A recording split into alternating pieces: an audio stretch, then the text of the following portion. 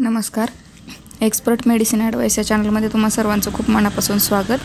आज आपण माहिती बघणार आहोत सायक्लोपाम या ड्रॉपविषयी जेव्हा बाळ अचानक रडत असतं किंवा त्या बाळाच्या रडण्यामागचं कारण समजत नाही तर त्यावेळी त्या बाळाच्या रडण्यामागचं कारण हे पोटदुखी असू शकतं.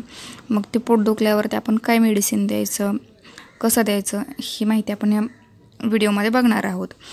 तर हा सायक्लोपाम ड्रॉप याच्यामध्ये काय कंटेंट आहेत याचे साईड इफेक्ट्स आहेत का तो ड्रॉप कसा यूज करायचा किती एम एल द्यायचा हे आपण या व्हिडिओमध्ये बघणार आहोत. हा ड्रॉप इंडोको रेमेडीजचा आहे. याच्यामध्ये दोन कंटेंट आहेत एक डायसायक्लोमाइन आणि दुसरं सेमिथिकॉन याच्यामध्ये जे डायसायक्लोमाइन आहे ते अँटीस्पास्मोडिक म्हणून काम करतं. अँटीस्पास्मोडिक म्हणजे काय? स्पासम म्हणजे जेव्हा मसल बाळाच्या ज्या स्मूथ मसल असतात पोटाच्या त्याच्यावेळी कॉन्ट्रॅक्ट होतात. तेव्हा हे अँटीस्पास्मोडिक म्हणजे मसल रिलॅक्स करण्याचं काम करतं.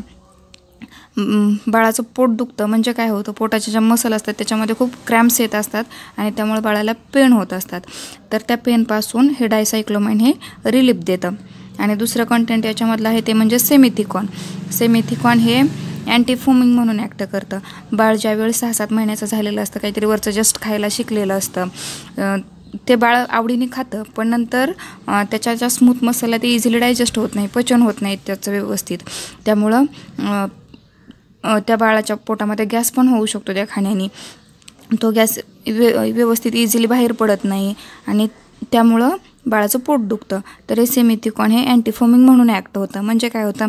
पोटात जे गॅस बबल निर्माण झालेले असतात त्यातला इझिली डिसइंटिग्रेट करतं आणि बाळाच्या पोटातून तो गॅस व्यवस्थित बाहेर जातो.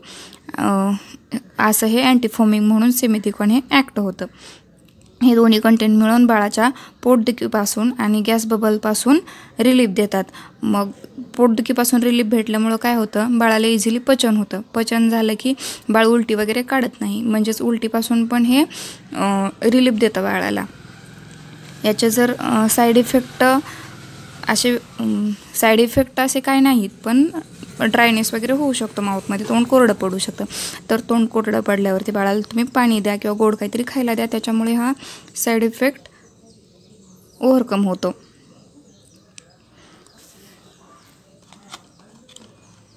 आता जर बाळ सहा महिने दोन वर्षापर्यंत असेल तर त्याला दहा ते वीस ड्रॉप द्यायचे. डॉक्टर जसे सांगतील तसं.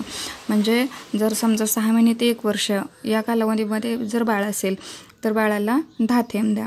आणि एक वर्ष ते दोन वर्षाच्या दरम्यान असेल तर तुम्ही वीस ड्रॉप द्या.